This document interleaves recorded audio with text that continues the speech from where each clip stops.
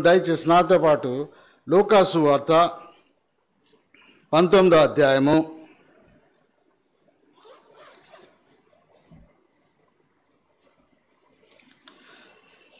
ఇరవై ఎనిమిదో వచనం నుండి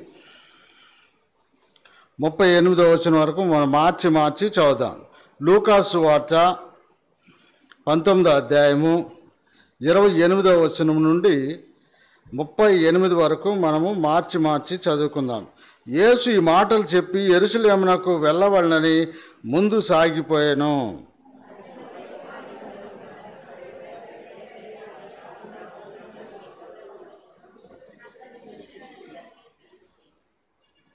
ముప్పై వచనం. మీరు ఎదుటనున్న గ్రామం నాకు వెల్లుడి అందులో ప్రవేశింపగానే కట్టబడి ఉన్న ఒక గాడిద పిల్ల మీకు కనబడును. దాని మీద ఏ మనుషుడును ఎన్నడును కూర్చుండలేదు. దానిని విప్పి తోలుకొని రండి.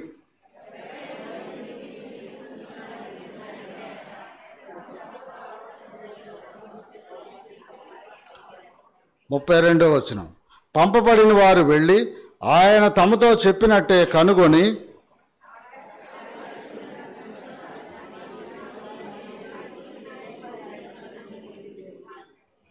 అందుకు వారు ఇది ప్రభువునకు కావలసి ఉన్నదనిరి.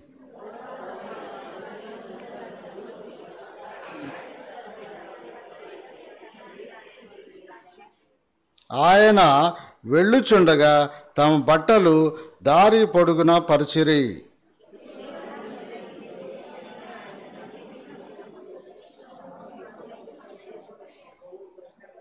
ముప్పై ఎనిమిదో వచ్చిన అందరం కలిసి చదువుతాం. ప్రభు పేట వచ్చు రాజు స్థుతింపబడును గాక పరలోకమందు సమాధానమును సర్వోన్నతమైన స్థలములలో మహిమయు ఉండును గాక. ముప్పై ఎనిమిదో వచనము ఈ మాటలు మనం చదువుకున్న మాటలు మర మరలా అందరం గట్టిగా స్పష్టంగా చదువుతూ ప్రభుని మహింపద్దాం. ప్రభు పేట వచ్చి రాజు స్థుతింపబడును గాక పరలోకమందు సమాధానమును సర్వోన్నతమైన స్థలములు మహిమయు ఉండును గాక. అని తాము చూచిన అద్భుతములన్నిటిని గూర్చి మహాశబ్దంతో దేవుని స్తోత్రము చేయసాగిరి తలవంచండి దయచేసి మరొకసారి ప్రభు కృపను కోరుకుందాం. ప్రేమగల మా పరలోకపు తండ్రి మహోన్నతుడైన మా దేవ మా జీవితాల్లో మీరు ఇచ్చినటువంటి మరొక ప్రభు యొక్క పరిశుద్ధ దినము పు- పునరుద్ధాన దినాన్ని బట్టి పామ్ సండేని బట్టి మీకు వందనాలు కృతజ్ఞతాసులు చెల్లించుకుంటున్నాము. ప్రభా ఇదో ప్రపంచమంతా కూడా. ఇదో తండ్రి నాయన మరి ఆనాడు భూమి మీద మీరు సజీవునిగా ఉండి ఇదో తండ్రి నాయన మీ యొక్క జీవితంలో చివరి వారమైనటువంటి ఈ చివరి వారంలో మొదటి దినముగా నువ్వు తండ్రి నాయన మీరు చేసిన కార్యాన్ని బట్టి ప్రభా జ్ఞాపకం చేసుకుంటుండగా మేము సార్వత్రిక సంఘంతో కలిసి ప్రభా ఇదిగో తండ్రి నాయన ఈ సంఘటన మేము ధ్యానం చేయొచ్చుండగా మీ మాటలు ప్రభా ధ్యానాన్ని మీరు మాకు అనుగ్రహించమని కోరుతున్నాను. నిలవబడిన నేను నిష్ప్రయోజకుడును. దుమ్మి ధూళి లాంటి వాడిని ప్రభా దయచేసి కావలసిన మాటలు నాకును మాకును అనుగ్రహించండి. దీనిలో నుంచి మాకు ఉపదేశాన్ని దయచేయమని కోరుతున్నాను మానవుని యొక్క స్వరాన్ని మానవుని యొక్క ప్రభా తెలివితేటలు ఇక్కడ లేకుండా ప్రభా ఇదిగో మీ మెల్లని ప్రేమగల స్వరాన్ని నాకు మాకు వినిపింప చేయండి ఇదిగో మాకు అర్థమైనటువంటి మాటలు మాకు దయచేయమని కోరుతూ ముందున్న సమయాన్ని దీవించి ఆశీర్వదించమని మా ప్రభువును మా రక్షకుడు ఆయన యేసుక్రీస్తు నామములో స్తుతించి ప్రార్థించి వేడుకుంటున్నాము తండ్రి. ఆమె బైబిల్లో మనం చూసినట్లయితే యేసుక్రీస్తు ప్రభువారి యొక్క మరి శరీరదారిగా ఉన్నటువంటి రోజుల్లో ఉన్నటువంటి ఇది లాస్ట్ వీక్ మాట. ఈ దినము నుంచి శనివారం వరకు హోలీ వీక్ అంటారు. ఏమంటారు? హోలీ వీక్ అంటారు. అంటే కొన్ని కొన్ని విషయాలు మనం తెలుసుకోవడం కోసం చెప్తా ఉన్నా. కొంతమంది ఏదో ఆ నామకార్థంగా చేస్తూ ఉంటారు. అది కాదు కానీ మన కొన్ని విషయాలు మనం తెలుసుకుంటే మంచిది. అయితే ఈరోజు జరిగినటువంటి సంఘటన అంటే హోలీ వీక్లో ఫస్ట్ వీక్ అది సండే. అంటే ఈ రోజు నుంచి ప్రభువారు గుడ్ ఫ్రైడే ఆ తర్వాత సాటర్డే వరకు ఉన్నటువంటి ఆ రోజుల్ని హోలీ వీక్ అంటారు. మళ్ళీ సండే కమింగ్ సండే ఏమొచ్చింది? Easter Sunday. ఓకే. అయితే ఈ హోలీ వీక్లో ఫస్ట్ డే జరిగినటువంటి సంఘటన. ఇది యేసు క్రీసు ప్రభువారు జన్మించక మునుపే ఈ ప్రభువు ఈ విధంగా మరి ప్ర ప్రభు జన్మించిన తర్వాత ఆయన సిలువ మరి వేయబడ్డానికి తీర్పు తీర్చబడటానికి ఎరుషులేము వెళ్ళాలి. అయితే ప్రవ్వారు తన జీవితంలో ఆయన గూర్చినటువంటి ప్రవచనాలన్నీ కూడా ఆల్మోస్ట్ నెరవేరిపోయినాయి. అయితే సిలువును గూర్చినటువంటి ప్రవచనాలు ఇంకా కొన్ని ఉండిపోయినాయి.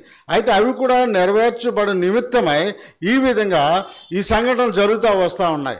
అయితే మరి క్రీస్తు ప్రభుకు ముందే ఏడు వందల సంవత్సరాలకు ముందే జకరయ ప్రవక్త ద్వారా ఈ సంఘటన అక్కడ ప్రవచించబడి ఉన్నటువంటి మాటలు నెరవేర్చు ని- నెరవేర నిమిత్తమై అవి ఈ జరిగినాయి మాట. ఉదాహరణకు జక్కరయ్య తొమ్మిదో అధ్యాయం తొమ్మిదో వచ్చిన చదవండి ఎవరైనా. జక్కరయ్య book of Zechariah chapter nine verse nine. Chapter nine verse nine.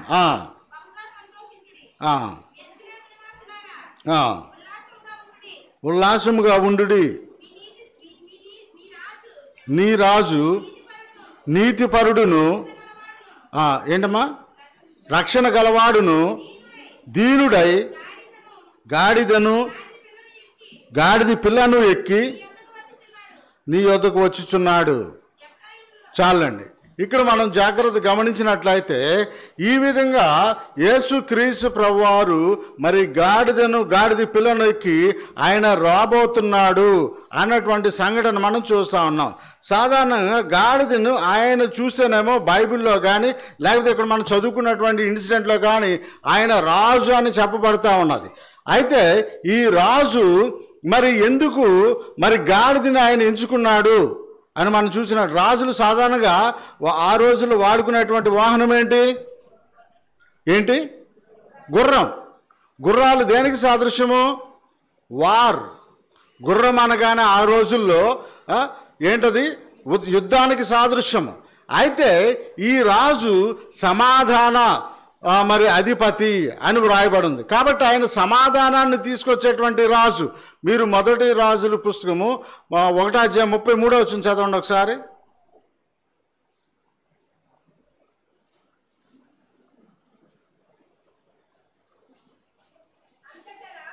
అంతటా రాజు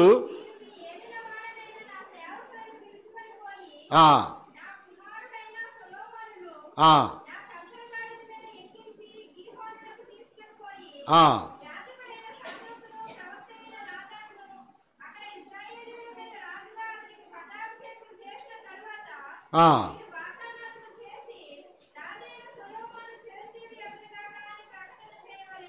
చూసారా? ఇక్కడ మనం గమనించినట్లయితే ఆ రోజుల్లో రాజులు కంచర గాడిద వాడారు అంటే ఏంటంటే ఇక్కడ మనం చదువుకున్న ఇన్సిడెంట్ ఏంటంటే మరి దావీదు రాజు చాలా వృద్ధాప్యంలోకి వచ్చేసాడు ఆయన ఉన్నటువంటి సంతానములో మరి ఆయనకి పిల్లలు చాలామంది ఉన్నారు. అయితే అట్లే పిల్లలలో వారిలో ఒక వ్యక్తి అయినటువంటి సాల్మన్.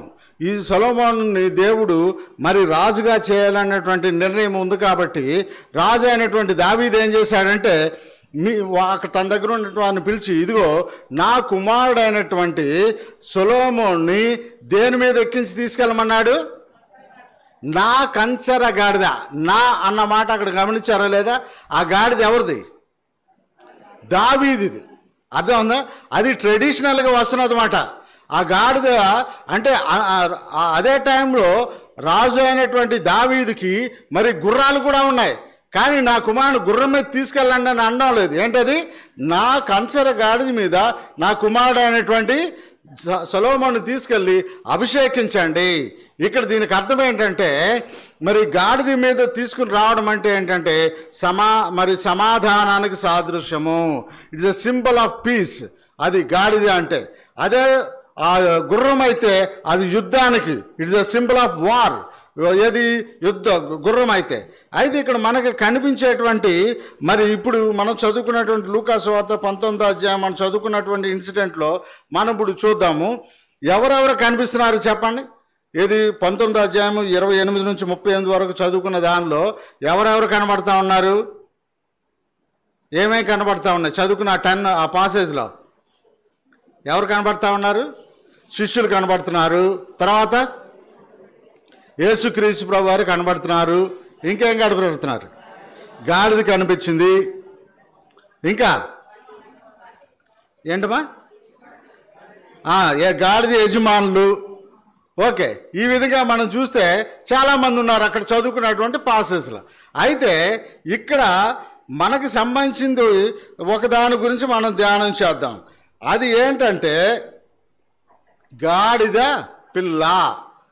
అది అది మనకు సంబంధించింది ఏంటన్నా మరి అలా అంటారు మనం మనుషులం కదా గాడికి మనకి పోలిక ఏంటి అని. కోపం వచ్చినప్పుడు ఎన్నిసార్లు అన్నారు పిల్లల్ని? పిల్లల్ని ఏం చెప్తాం? ఒరే! గాడిదని గాడిద అని ఆ పిలిచిన తల్లి కూడా మరేమో నాకు తెలియదు తల్లి తండ్రి అందరు గాడిదల ఫ్యామిలీ మాట. ఓకే. కాబట్టి ఈ గాడిదల ఫ్యామిలీ మనకు సంబంధించింది కాబట్టి ఇది దీనిలో నుంచి మనకు మెసేజ్ ఉంది. ప్రతిసారి కూడా మెసేజ్ ఉంటుంది. కోపచ్చుడు కొన్నిసార్లు కోపం వస్తే అన్న కూడా అక్కనే అంటాడు. డైరెక్ట్ అంటాడు అక్క ఇండైరెక్టే అంటుంది. నేను గాడిద అయితే నువ్వు తెలుసుగా? ఈ ఈ స్టైల్లో మనం బండి వెళ్తూ ఉంటుంది. అయితే ఇక్కడ మనం చూసినట్లయితే ఈ గాడిద కట్టబడినటువంటి గాడిద మరి దాని గురించినటువంటి మనకి ఆల్రెడీ క్లియర్ మెసేజ్ మనకు వచ్చేసింది. ఇక్కడ మనం చూసినట్లయితే ప్రభువారు ఆ టైంలో ఎరుషులేం యొక్క పరిస్థితి ఏంటంటే it was a festive season అదేంటది? పస్కా పండుగ దినాలు ఆ రోజులు పండగ దినాలు. పండగ దినాల్లో ఎరుషులేము ఎట్లా ఉండదంటే it was a big commercial city ఏంటది?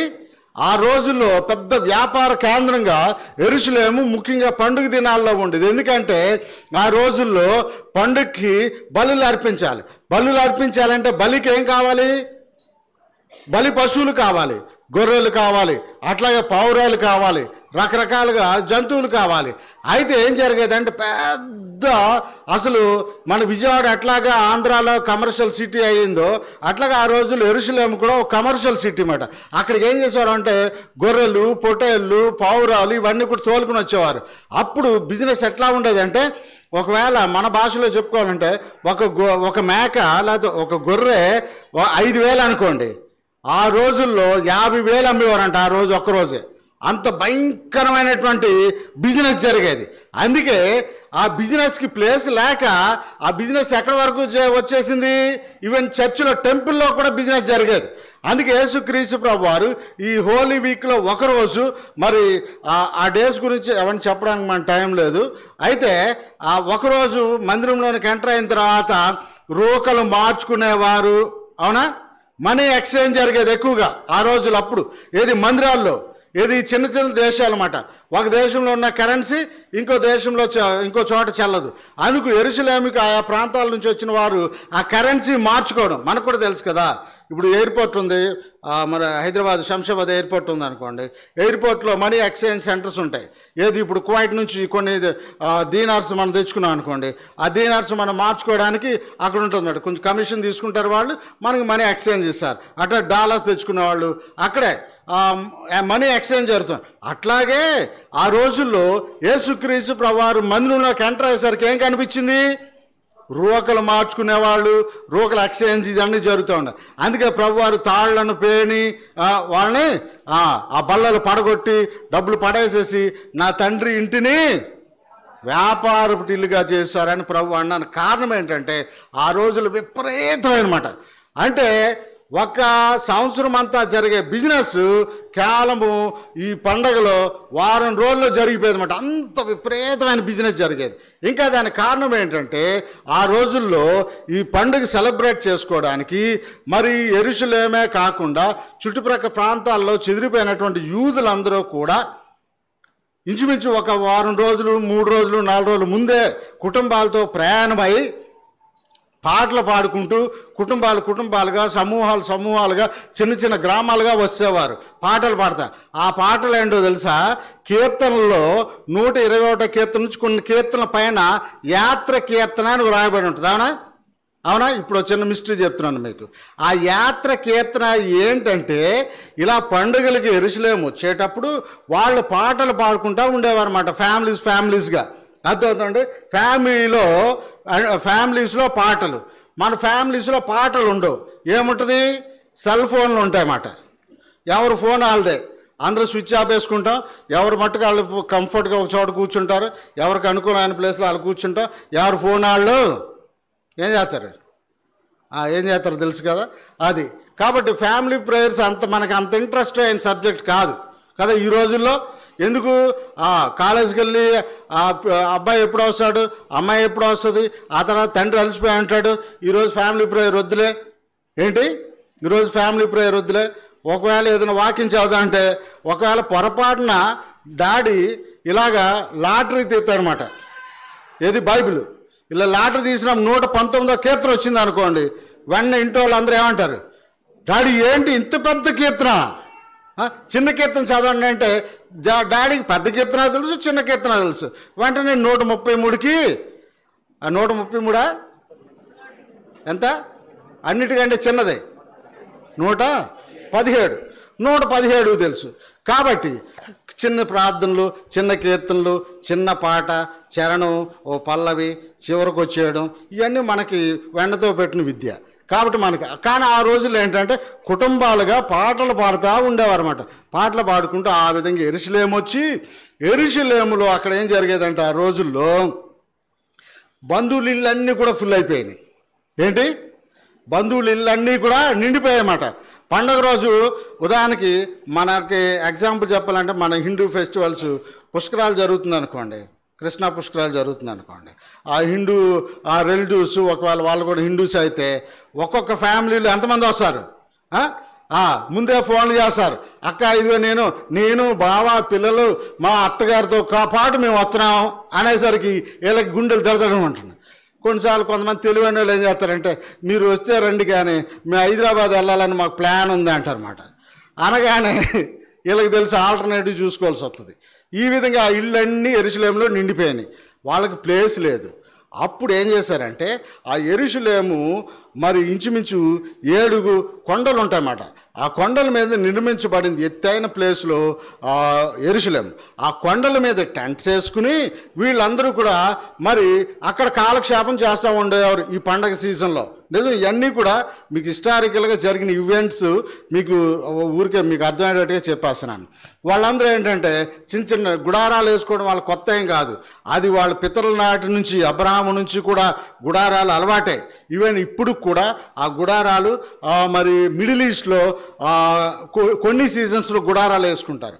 నేను లాస్ట్ టైము రెండుసార్లు కువైట్ వెళ్ళినప్పుడు అక్కడ ఎడార్లోంచి ఎడారిలోంచి జస్ట్ సౌదీ అరేబియా బార్డర్కి నన్ను ఒక బ్రదర్ ఒక ఆయన నన్ను తీసుకెళ్ళాడు అనమాట ఒక ఆయిల్ ఫీల్డ్ దగ్గర తీసుకెళ్తుంటే గుడారాలు కనబడుతున్నాయి అక్కడక్కడ. గుడారాలు ఒంట్లు కనబడుతున్నాయి. నేను అన్నాను బ్రదర్ ఏంటి ఈ గుడారాలు అసలు ఇక్కడ ఈ గుడారాలు వేసుకున్నారు ఏంటంటే అప్పుడు తను చెప్పుకొచ్చాడు అనమాట చాలా కాలం నుంచి పెద్ద బిజినెస్ మ్యాన్ తను అక్కడ రైల్వే కోడూరు వాళ్ళ నేటివ్ ప్లేస్ ఇక్కడ కడపలో. అయితే ఆయన చెప్పాడు ఆ బ్రదర్ మన బైబిల్ అని చూసారా? అబ్రహాము గుడారాలు టెంట్లు వేసుకున్నట్టుగా అలాగే వీళ్ళు కూడా ఆ ఇయర్లో కొన్ని రోజులు టెంట్ వేసుకుని టెంట్లు అన్నీ సమకూర్చుకుని వాళ్ళు ఆ విధంగా ఉంటారు.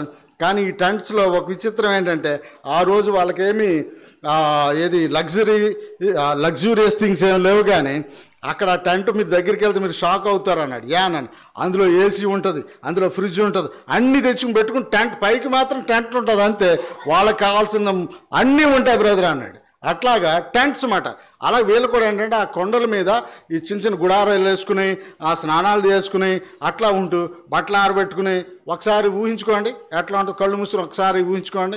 ఆ పిల్లలతో చిన్న చిన్న పొయ్యిలు బయట పెట్టుకుని ఆ కట్టెలు ఏరుకొచ్చుకుని వంటలు చేసుకుని రొట్టెలు చేసుకుని ఆ, ఒక మంచి ఫెస్టివ్ సీజన్ అనమాట రాత్రులు కాగడాలు వెలిగించుకుని ఆ విధంగా మరి చక్కగా ఒక మంచి పండగ వాతావరణం జరుగుతూ ఉండేది. పాటలు పాడుకునే వాళ్ళు పాటలు పాడుతూ సితారా తీసుకుని వాయించుకునే వాళ్ళు. ఈ విధంగా మంచి అద్భుతమైనటువంటి మరి ఆ రోజులు అట్లా జరుగుతున్నటువంటి టైంలో జరిగినటువంటి ఇన్సిడెంట్ అన్నమాట. అది అంతా కూడా అయితే నిజమైనటువంటి పస్క పశువుగా ప్రభు అయిన యేసుక్రీస్తు వారు ఎరుసలేమికి వెళ్ళవలసినటువంటి ఆ రోజు వచ్చింది. అయితే యేసుక్రీస్తు ప్రభు వారు అంతకు ముందు రోజుల వరకు కూడా మరి ఆ మరియా మార్త లాజరు వాళ్ళ ఇంట్లో బేతనయ్యలో మరి ప్రభు వారు వెళ్ళే ఎప్పుడు వెళ్ళినా సరే అక్కడ వాళ్ళ ఇంట్లో ఉంటా ఉండేవారు అనమాట అయితే అక్కడ నుంచి ఆ ఏ ఊరి నుంచి స్టార్ట్ అయ్యారు ఆయన? ఇరవై తొమ్మిదో వచ్చిన చదవండి. ఇరవై తొమ్మిది. బ్యాత్సబే కొండ అనేటువంటి గ్రామం నుంచి బయలుదేరి బయలుదేరి వచ్చేటప్పుడు తన దగ్గర ఉన్నటువంటి శిష్యులతో ప్రభువారు చెప్పారు ఇప్పుడు నేను బయలుదేరి వెళ్ళబోతా ఉన్నాను. ఇప్పుడు వరకు నేను నడిచాను. అవునా? ప్రభువారు తన జీవితంలో ఎప్పుడు కూడా అంటే భూమి మీద నడిచినప్పుడు ఏ వాహనం మీద కూడా ప్రభువారు ఎక్కలేదు. ప్లీజ్ నోట్ దిస్ పాయింట్ అయితే ఒకవేళ నది మీద వెళ్ళవలసి వచ్చినప్పుడు తప్పదు కాబట్టి ఏది నావలో వెళ్ళేవారు. ఆ భూమి మీద వెళ్ళవలసి వచ్చినప్పుడు ఆయన ఏ వాహనాన్ని ఏ యానిమల్ మీద కూడా ఆయన రైడ్ చేయలేదు. అయితే ఇదే ఫస్ట్ అండ్ లాస్ట్ అయితే ప్రభువారు అది కూడా ఏంటంటే వాగ్దాన మరి నెరవేర్పు ప్రవచన నెరవేర్పు అది. వాగ్దానం కాదు ప్రవచన నెరవేర్పు. ఆ ప్రవచన నెరవేర్పు కోసం ప్రభువారు ఏం చేశారంటే ఇద్దరు శిష్యుల్ని పిలిచి ఇదిగో మీరు ఆ గ్రామానికి వెళ్ళండి. ఆ గ్రామంలో మీరు ప్రవేశించిన వెంటనే మీకు ఒక గాడిద కనబడుతుంది. ఆ గాడిదని మీరు విప్పుకొని తీసుకుని రండి. ఇప్పుడు మొదటగా మనం చూసినట్లయితే ఇక్కడ ఈ గాడిద ఇరవై తొమ్మిదవ వచనంలో మనం చదివినట్లయితే మీరు ప్రవేశింపగానే కట్టబడి ఉన్న ఒక గాడిద పిల్ల. ఈ గాడిద స్టేటస్. ఈ గాడిద స్థితి ఏంటి? కట్టబడింది. ఇది మానవ జీవితానికి సాదృశ్యంగా ఉన్నది. మనము కూడా మనుషులు కూడా ఏదో ఒక దాని చేత కట్టబడినటువంటి స్థితులు స్థితిలో మనం ఉంటా ఉన్నాం. అయితే దీనికి ఫ్రీడమ్ లేదు. కట్టబడినటువంటి గాడిద. అయితే మనుషులకు కూడా కట్లుంటాయి అవి పైకి కనబడు కొన్ని కట్లేమో సాధారణంగా కొన్ని జంతువులకి తాడు కట్టేస్తారు. ఆ తాడు కట్టినప్పుడు కొన్ని తాళ్ళు బహుశా ఒక మూడు నాలుగు మీటర్స్ పొడవు ఉండొచ్చు. అయితే కొన్ని తాళ్ళు ఒక ఐదు మీటర్లు పొడవు ఉండొచ్చేమో. అంత మాత్రాన నేను ఐదు మీటర్లు నేను వెళ్తున్నాను కదా నాకు ఫ్రీడమ్ దొరికింది అని అనుకోవడానికి లేదు. కానీ దాని మెడకి ఏముంది? కట్టున్నది. అట్లాగే ఈ మధ్యాహ్న సమయం ఈ ఉదయకాల సమయంలో బల్ల ఎద్దుకు వస్తున్నటువంటి మనకు కనబడిన కట్లు ఏమున్నాయి? ఒకసారి యోన్ సువార్త తీయండి. పదకొండో అధ్యాయం చదవండి. పదకొండో అధ్యాయంలో యోన్ సువార్త పదకొండు నలభై నాలుగో వచ్చిన చదవండి. చనిపోయిన వాడు కాళ్ళు చేతులు ప్రేత వస్త్రములతో కట్టబడిన వాడై వెలుపలికి వచ్చెను. అతని ముఖమునకు రుమాలు కట్టి ఉండెను. అంతటి యేసు మీరు అతని కట్లు విప్పి పోనీయుడని కట్లు విప్పి పోనీడని చెప్పాను. మనకు తెలుసు కదా ఆ లాజరు మరి ఆ లాజరు ప్రభువారు లాజరు రమ్మని బయటికి చెప్ప పిలిచినప్పుడు బిగ్గరగా పిలిచినప్పుడు ప్రభు యొక్క స్వరము చనిపోయినటువంటి వ్యక్తిలోనికి వెళ్ళి అది మరి అతడు వెంటనే లేచాడు. అతడు లేచాడు క్యాండిడేట్ బయటకు వస్తున్నాడు. బయటకు వచ్చినప్పుడు ఒకసారి ఊహించుకోండి ఎట్లా వస్తున్నాడు? ఎలా వచ్చాడు? ప్రాత వస్త్రాలు.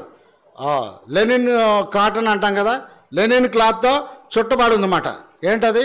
ఈ లెనిన్ కాటన్ అన్నది ఇప్పుడు మనం మాట్లాడుతున్నాం కానీ అది ఆ రోజుల్లోనే ఉంది. అదే ఉందండి. అయితే ఆ క్లాత్తో చుట్టేశారు. ఆ తర్వాత పూర్తిగా ప్యాక్ అయిపోయాడు అనమాట ఫుల్లీ ప్యాక్డ్. అదేందా కాబట్టి ఆ క్యాండిడేట్ బయటకు వస్తున్నాడు అనుకోండి ఇలా వచ్చాడు అనుకోండి మనలాగా కొంచెం మళ్ళీ మనలో ఒక, ఏది కార్డియాక్ ప్రాబ్లం ఉన్న వాళ్ళు ఆ క్యాండిడేట్ని చూశారనుకోండి ఏమవుద్ది? మళ్ళీ వన్ జీరో ఎయిట్ని పిలవాల్సి వస్తుంది. అవునా? కార్డియాక్ ప్రాబ్లం ఉన్న వాళ్ళు నుంచి ఒక క్యాండిడేట్ ఇట్లాగా తెల్లని బట్టలు వేసుకుని లేచి ఇలా వస్తున్నాడు అనుకోండి ఎట్లా ఉంటుంది? ఇంకా ఇంక పరుగులే పరుగులు. అయితే ప్రభువారు ఏమన్నారు? ఆ కట్టబడిన వ్యక్తి కట్ అతని కట్లను విప్పి పోనేయండి. అతని కట్లు విప్పి పోనేయండి. కాబట్టి ఇతనిలో సజీవుడిగా ఉన్నాడు. ప్రాణం ఉంది కానీ ప్రాణం ఉందా లేదా? ప్రాణం ఉంది కాబట్టే పైకి లేచాడు. అయితే ప్రాణం ఉంది కానీ అతనికి ఏమి తనకున్నవి ఇంకా ఏమున్నాయి? తను బంధించున్నాయి ఏంటవి? కట్లున్నాయి. మనము కూడా ఆత్మ సంబంధంగా చాలాసార్లు సజీవు సజీవులుగానే ఉంటాము. మనం ఆరాధన చేస్తాము పాటలు పాడతాము వాళ్ళలో పార్టిసిపేట్ చేస్తాము. కానీ మనలో మనకి ఎవరు మట్టుకు వాళ్ళు ఎవరు రహస్య జీవితంలో వాళ్ళకి తెలుసు. వ్యక్తిగత రహస్య జీవితాలకి. ఏ కట్లు ఉన్నాయో. ప్రభువారు ఏమంటా ఉన్నారంటే ఆ కట్లు వలన అతనికి స్వేచ్ఛ లేదు. కాబట్టి ఆ కట్లు విప్పి పోనీయండి అన్నాడు. కాబట్టి కట్లు విప్ప కట్టబడినటువంటి ఈ గాడిద మరి ఏంటి ఏంటంటే? కట్టబడినటువంటి గాడికి దాన్ని విడిపించాలి. ఇక్కడ మనం చూసినట్లయితే మొదటి మాట ఏంటంటే వీఆర్ చోజన్ కట్టబడిన గాడిద మొదటి మాట వీఆర్ చోజన్ మనము దేవుని చేత ఏర్పాటు ఏర్పాటు చేయబడిన వారము. కట్టబడిన గాడిద దేవునికి అవసరము. ఆ కట్టబడిన గాడిదే దేవునికి అవసరమైంది. అంత ఇంకా మనం ఆలోచన చేసినట్లయితే అదే ఊరిలో విప్పబడి గాలికి తిరుగుతున్న గాడిదలు చాలా ఉన్నాయి. కానీ ప్రభువారికి అది అవసరంలే. ప్రభుకి ఏం కావాలి? బంధింపబడినటువంటి గాడిదను విమోచించడమే ప్రభువారి యొక్క లక్ష్యం. ఆయన అందుకే ప్రభువారి లోకానికి వచ్చారు. ప్రభు ఈ లోకానికి రావడానికి కారణం ఏంటంటే కట్టబడిన గాడిని విప్పడానికి. అనగా పాపం చేత బంధింపబడి లేకపోతే అపరాధముల చేత బంధింపబడి లేక మనం బల సోకాల్డ్ బలహీనతలు అంటాం కదా వాటి చేత బంధింపబడినటువంటి మనలను ఆయన విప్పడానికి ఆయన ఈ లోకానికి వచ్చాడు. అంత మాత్రమే కాకుండా మనము దేవుని చేత మనము ఏర్పాటు చేయబడినటువంటి వారము. వీఆర్ చోజన్ బై గాడ్ అందుకే ఎఫ్ఎస్సి ఒకటి ఆరులో మనం చూసినట్లయితే ఒకసారి చూడండి ఎఫ్ఎస్సి ఒకటి ఆరో వచ్చినము ఆ, తన ప్రియుని యందు తాను ఉచితముగా మనకు అనుగ్రహించిన ఉమ్, తన కృపా మహిమకు కీర్తి కలుగునట్లు తన చిత్త ప్రకారమైన దయా సంకల్పము చొప్పున యేసుక్రీస్తు ద్వారా తన కుమారునుగా స్వీకరించుటకై మనలను ముందుగా తన కోసము నిర్ణయించుకొని మనము తన ఎదుట నిర్దోషమునై నిర్దోషములనై ఉండవలనని జగత్తు పునాది వేయబడక మునిపే. మునిపే even before the foundations of the earth జగత్ పునాది వేయకబడక మునిపే మనల్ని ఆయన ఏర్పాటు చేసుకొని ఉన్నాడు. ఈ విషయాన్ని మనం మర్చిపోకూడదు. ఇక్కడ మనం జాగ్రత్త గమనించినట్లయితే వాళ్ళు విప్పడానికి వచ్చినప్పుడు దాని యజమానులు ఏంటంట? మొదటగా ఈ కట్టబడిన గాడిద మరి విడుదల పొందిన గాడిదగా అయిపోయింది. దేవుని చేత ఏర్పాటు చేయబడినటువంటి గాడిదిగా గాడిదగా మనం చూస్తూ ఉన్నాము ఇప్పుడు దానికి అనేక మంది యజమానులు ఉన్నారంట. సాధారణ గాడిదకి ఎంతమంది యజమానులు ఉంటారు? ఒక గాడిదకి ఎంతమంది యజమానులు ఉండే అవకాశం ఉంది చెప్పండి. సాధనం ఒక గాడిద అంటే అది అది గాడిదే తప్ప అది బంగారు ముద్ద కాదు కదా చాలామంది ఉండడానికి. ఒక గాడిదకి సాధారణంగా సాధారణంగా ఒక వ్యక్తికి చాలా గాడిదలు ఉంటాయి. మన సైజు మన సైడ్ అట్లా గేదెలు మేకలు ఇట్లా పెంచుతారో అట్లాగా ఆ రోజు అక్కడ కూడా గాడిదలు ఉంటాయి. ఒక వ్యక్తికి ఎంత పేదోడైనా రెండు మూడు గాడిదలు ఉంటాయి. అయితే ఇక్కడ బైబిల్ ఏమనుందంటే దాని యజమానులు మిగిలిన ఆ బుక్స్ గాస్పుల్స్లో కూడా యజమానులు అనేవి రాయబడి ఉంటుంది. కాబట్టి దానికి యజమానులు ఒక గాడిదికి చాలా యజమానులు. మన జీవితంలో కూడా మనిషి ఒకడైనా సరే అనేకమైనటువంటి యజమానుల క్రింద మనం ఉన్నవారము. వీఆర్ అండర్ మెనీ మాస్టర్స్ మనము అనేక మంది యజమానుల క్రింద ఉన్నవారము. అయితే ఈ మనము ఏ యజమానుల క్రింద మనం ఉన్నామో ఆ యజమానులు ఏం చేశారు? యజమానులందరూ కలిసి దీన్ని బంధించారు. కానీ ఇప్పుడు మనకు ఒక యజమానుడు ఉన్నాడు our heavenly master he came into this world to deliver you to brought out of the every bondage యేసుక్రీస్తు ప్రభు వారు మనకి పరమ యజమాని. ఇక్కడ యజమానులు అని వ్రాయబడిన మాట మనం చూస్తూ ఉన్నాము. దీనికి అనేక మంది యజమానులు అనేకమైనటువంటి దుర్వ్యసనాలు అనేక దురాత్మలు అనేక రకాలుగా మనం బంధింపబడి ఉంటే పరలోకమందు ఉన్నటువంటి మన యజమానుడు ఆయన మనల్ని విడిపించిన యజమానుడుగా ఆయన ఈ లోకానికి వచ్చి ఉన్నాడు. అయితే ఆయన మరి ఈ గాడిద విడుదల పొందినటువంటి గాడిదగా మనం చూస్తూ ఉన్నాము. ఇది వీఆర్ చోజన్ రెండవదిగా మనం చూసినట్లయితే ఇంతకీ ఇది మీకు ఎవరైనా ఈ గాడిద విప్పుతుంటే సాధారణంగా కట్టబడినటువంటి పశువుని ఎవరైనా వచ్చి ఆ వేరే వాళ్ళు వచ్చి ఇప్పుతుంటే ఆ ఓనర్ ఊరుకుంటాడే చెప్పండి. బాబు తీసుకెళ్ళి నాయన నీకు కావాలేమో నువ్వు తీసుకెళ్ళనే వాళ్ళు ఎవరైనా ఉన్నారా? ఇండియాలో ఉన్నారా? అప్పుడు వాళ్ళు ఎక్కడైనా ఉన్నారా? ఏం లేదు వచ్చిన క్యాండిడేట్ ఇప్పిన క్యాండి ఇప్పుతున్న క్యాండిడేట్ని తీసుకెళ్ళిపో పర్వాలేదని ఎవరైనా విడిచిపెడతారా?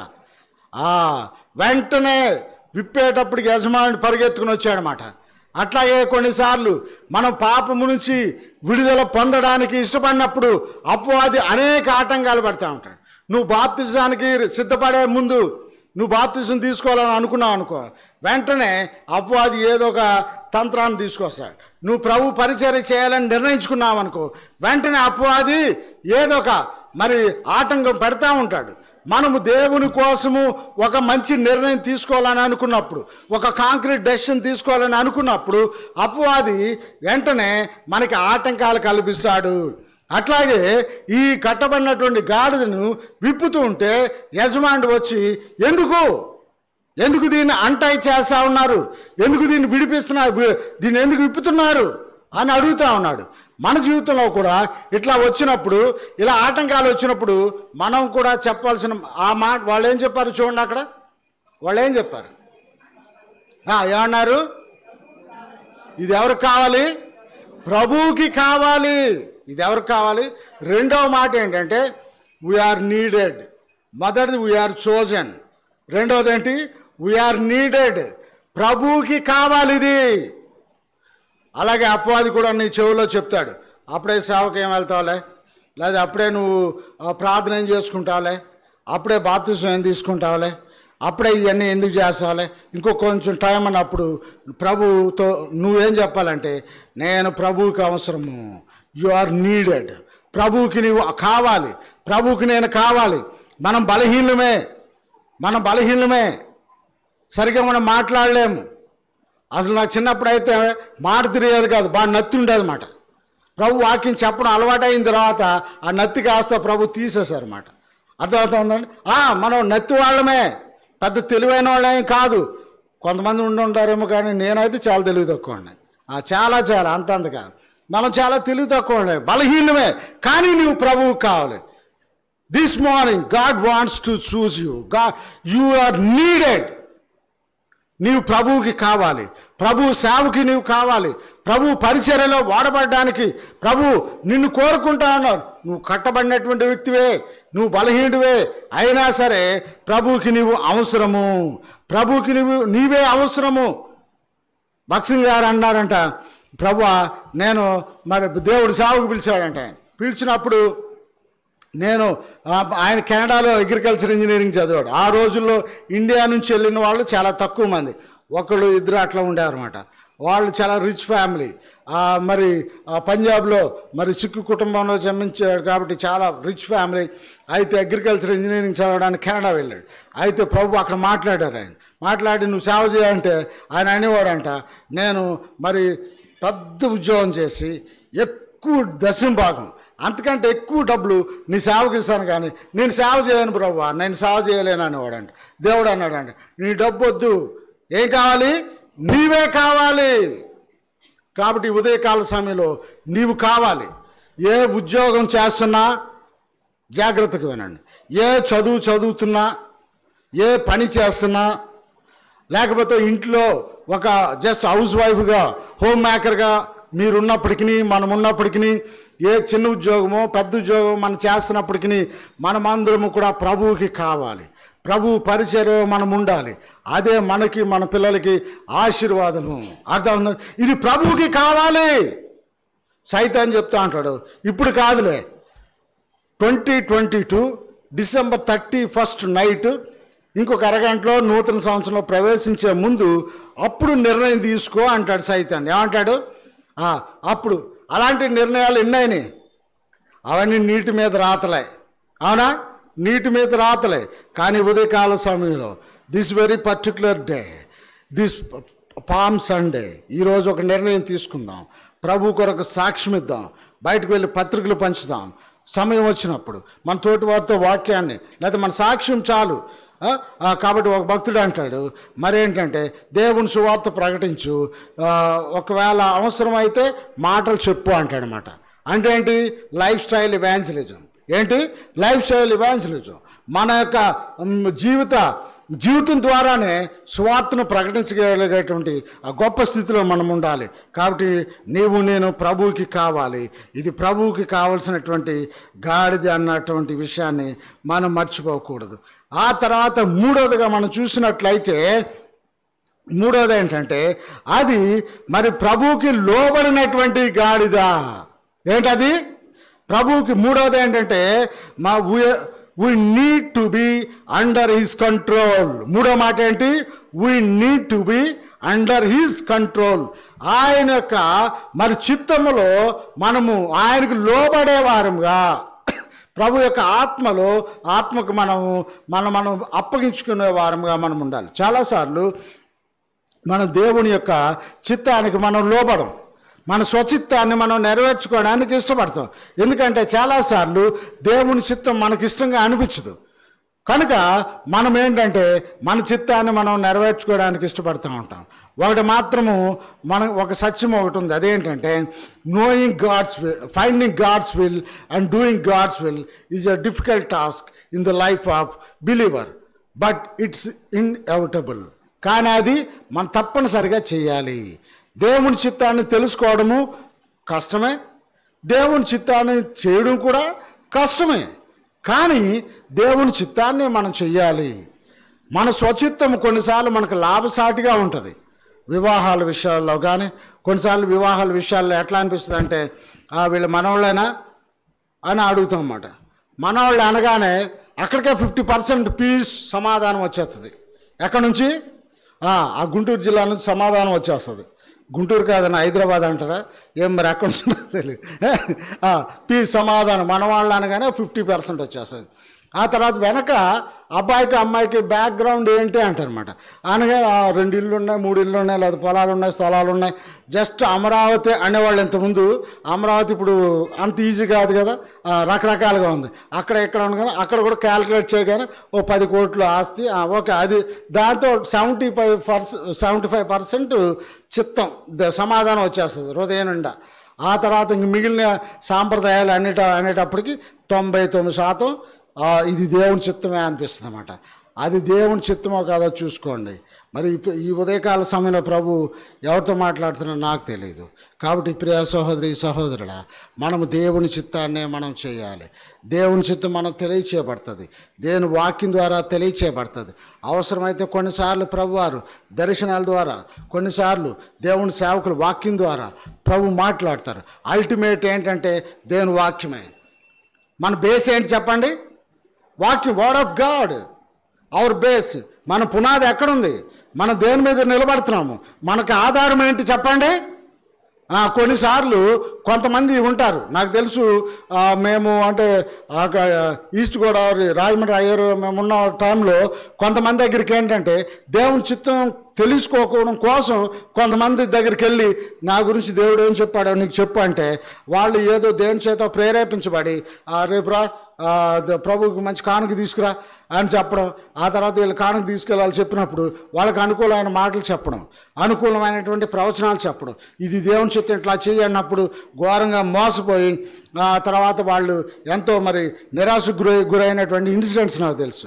కాబట్టి దేవుని చిత్తాన్ని దేవుని వాక్యం ద్వారా మరి ప్రార్థనలో ఆత్మలో గ్రహించి దేవుని సేవకుల ద్వారా దేవుడు మాట్లాడుతున్నటువంటి మరి సందేశాల ద్వారా ఉపదేశాల ద్వారా మనం తెలుసుకున్న వారమై మన దేవుని చిత్తాన్ని చేయాలి. ఇక్కడ ఈ గాడిది పిల్ల దేవునికి ప్రభుకి లోబడినట్లుగా మనం చూస్తూ ఉన్నాం.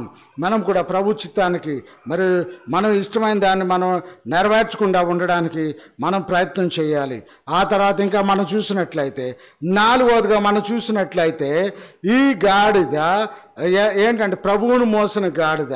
నాలుగో మాట వీఆర్ టు క్యారీ జీజస్ నాలుగో మాట అంటే వీఆర్ టు క్యారీ జీజస్ యేసుని మోసుకుని పోయే వారంగా మనం ఉండాలి ప్రభువును మోసుకుని పోయే గాడిదలంగా మనం ఉండాలి సాధారణంగా గాడిదల మీద అంటే ఇప్పుడు మనకి మో మోటార్ వెహికల్స్ వచ్చేసినాయి కాబట్టి ఆ గాడిదని మన ఇండియాలో దేనికి ఎక్కువ వాడేవారు? మన తెలుగు స్టేట్స్లో ఇంతకుముందు బట్టలు వేయడానికి కదా? ఆ, బట్టలు వేయడానికి ఏం బట్టలు? పట్టు చీరలు మంచి మంచి మరి ఏ చీరలు? ఫస్ట్ ఇనీషియల్గా అది మోసుకెళ్ళేది ఏంటి? మురికి బట్టలు. అంతేనా? మాసిన బట్టలు దాని మీద తీసుకుని వెళ్ళేవారు అనమాట అదేవిధంగా మరి ఈ గాడిద అయితే మనకి ఇక్కడ చూసినట్లయితే ఈ గాడిద ఎవరిని మోస్తుంది? ఎవరిని మోస్తుంది? ప్రభువుని మోస్తాం దానికి ముందు ఇంకోటి జరిగింది. ప్రభువారు ఆ గాడిద మీద కూర్చొని ఒక మునుపు ఏం జరిగింది? ఆ గాడిదపై ఏమేశారు? బట్టలు వేశారా లేదా? బట్టలు లేకుండా ప్రభువారు అక్కడ కూర్చోలేదు దాని మీద. మీకు అర్థమైందండి? అట్లాగే ప్రభువు కూడా మనకు కొన్ని వస్త్రాలు ఇచ్చారు. ఏం వస్త్రాలు? ఇప్పుడు చెప్పండి. ఎస్ఎల్ ఉన్నాయి కదా ఏం వస్త్రాలు అవి? ఏం వస్త్రాలు? చెప్పరేంటి? ఏం వస్త్రాలు? యశాలో ఉన్నటువంటి వస్త్రాలు. స్థుతి వస్త్రము ఉల్లాస వస్త్రము ఇంకే వస్త్రం నీతోని పైబట్ట ఇట్లాంటివి ఉన్నాయా లేదా? ఆ వస్త్రాలు వేయబడిన తర్వాత ప్రభు దాని మీద కూర్చున్నారు. మీకు అర్థమవుతుందండి? ఎవరైతే ఇట్లాంటి స్థుతి వస్త్రము అంటే దేవుని స్థుతించే వస్త్రం స్థుతి వస్త్రము అంటే ఎక్కడ అమ్ముతారు అని మనం వెళ్ళి ఒకవేళ చంద్ర గ్రాండ్స్లో అడిగారు అనుకోండి స్థుతి వస్త్రమా? అని ఒకసారి పైకి కిందకి చూస్తాడు అనమాట క్యాండిడేట్. కాబట్టి స్థుతి వస్త్రము ఇక్కడ ఆర్ఎస్ బ్రదర్స్ దగ్గర దొరకదు కళాంజలిలో దొరకదు ఎక్కడికి వెళ్ళినా దొరకదు. ఆ స్థుతి వస్త్రం ఏమిటో ఆ దేవుని స్థుతించే వస్త్రాలు మనకున్నాయా? ఎప్పుడు విచారమేనా? కొంతమందికి ఇంకెప్పుడు దుఃఖ దుఃఖ వస్త్రాలు ధరించుకుని ఉంటారన్నమాట. కొంతమంది ఎప్పుడు బీపీ వస్త్రాలు కోపంతో మండిపోతూ ఉంటారు ఇంట్లో. ఇరవై నాలుగు గంటల్లో మెలకుగా ఉన్నటువంటి ఇంచుమించు పన్నెండు గంటల్లో ఎనిమిది గంటల కోపంతో బాడీ అంతా వేడెక్కిపోతూ ఉంటుంది. క్యాండిడేట్ తీసుకెళ్ళాలని నీటిలో పడేసాం అనుకోండి ఆ తాలింపు వేసిన తర్వాత ఎట్లా లేస్తుంది పప్పు ఎట్లా పైకి అలా లేస్తూ ఉంటుంది అట్లా వస్తూ ఉంటుంది బాడీలోంచి మాట. అంత వేడెక్కిపోతూ ఉంటారు. కోపంతోనూ గందరగోళాలతో ఇంట్లో సమాధానం లేకుండా కొంతమంది ఈరోజు ఉదయం మందిరానికి వచ్చేటప్పుడు కూడా తిట్టుకుని కొన్నిసార్లు వైఫ్ అండ్ హస్బెండ్స్ ఏం చేస్తారంటే మందిరానికి రా త్వరగా టైంకి రావాలన్న ప్రక్రియలో ఇద్దరు యుద్ధ ఇద్దరి మధ్యన యుద్ధం జరుగుతూ ఉంటుందన్నమాట. ఏంటి? ఈ క్యాండిడేట్ సింపుల్ కదా. అన్న లేచిపోయి త్వర త్వరగా తగిలిచ్చేసుకుంటాడు. ఆ టిఫిన్ రెడీగా అయిందా అంటాడు. టైం ఎంతో తెలుసా? నేను అందుకే చెప్పాను నీకు రాత్రే అంటుంటాడు. అయిపోయింది ఆగండి అయిపోయింది అంటా ఉంటుంది అక్క. అయినసరికి త్వరగా రా అంటాడు. ఈ లోపల అన్న నంబర్ మారిపోతూ ఉంటుంది. ఏం నెంబరు? కాబట్టి ఎయిటీ వన్ ట్వంటీ ఉండదు వన్ ట్వంటీ ఎయిటీ ఉండదు. ఆ నంబర్లు ఎక్కడెక్కడో ఎక్కడెక్కడో త్రిబుల్ డిజిట్కి వెళ్ళిపోతూ ఉంటాయి అన్నమాట ఇంకా అక్కడ నుంచి ఇంట్లో గందరగోళం. నీకు నేను నిన్నే చెప్పాను. లేట్కి వెళ్తే ఒక సేవకుడు అంటాడు కదా ఒకసారి బెంగళూరులో ఒకసారి ఒక సెమినార్కి వెళ్ళా. సెమినార్కి వెళ్తే చాలా పెద్ద సేవకుడు ఆ పేరు చెప్పండి పేరు చెప్తే మీకు అందరికీ తెలిసిపోద్ది. కాబట్టి ఆ సేవకుడు అంటాడు నేను మందిరానికి వెళ్ళాలనుకున్నప్పుడు బెంగళూరులో పెద్ద చర్చిలో ఆయన ప్రీచ్ చేస్తాడనమాట ఒకవేళ సేవకురాలు లేటుగా కానీ వస్తే అసలు నా వైఫ్కి అంటే సేవకురాలకి అసలు డివోర్స్ ఇచ్చేయాలనిపిస్తుంది బ్రదర్ అన్నాడు. ఏంటి? అది అంటే మన భాషలో రిజైన్ అనమాట ఏంటి? అచ్చా? ఆ, విడాకులు అంట కాబట్టి నాకు విడాకులు ఇచ్చేయాలనిపిస్తుంది లేటుగా వస్తే అన్నాడు అట్లాగే కొన్నిసార్లు ఏంటంటే ఆ యుద్ధంలో ఇద్దరు భార్యాభర్తల యుద్ధంలో ఏంటంటే అన్న నాలుగు ఇడ్లీలు ఇంక తినడు కోపంతో. ఆ రెండే తినేసి వచ్చేసి ఉంటాడు మిగిలిన మధ్యాహ్నానికి అక్క ఎలాగ పెట్టాలో తెలుసు మోతేసి ఉంచుతుంది. కాబట్టి ఈ విధంగా మరి ఆ స్ట్రగుల్ ఫ్యామిలీలో స్ట్రగుల్ మాట. అయితే మరి మనం ఏంటంటే చాలా బ్యాలెన్స్డ్గా ఉండడానికి మనం ప్రయత్నం చేయాలి. అంత మాత్రమే కాకుండా మరి మనము దేవుని యొక్క చిత్తంలో దేవుణ్ణి మనము మోసే గాడిదలుగా మనం ఉండాలి. We are to carry Jesus యేసు క్రీసు ప్రభుని మనము మోస్తా ఉన్నామా? లేకపోతే మన భారాలే మోస్తున్నామా? ఒక విషయం మీరు మర్చిపోకండి.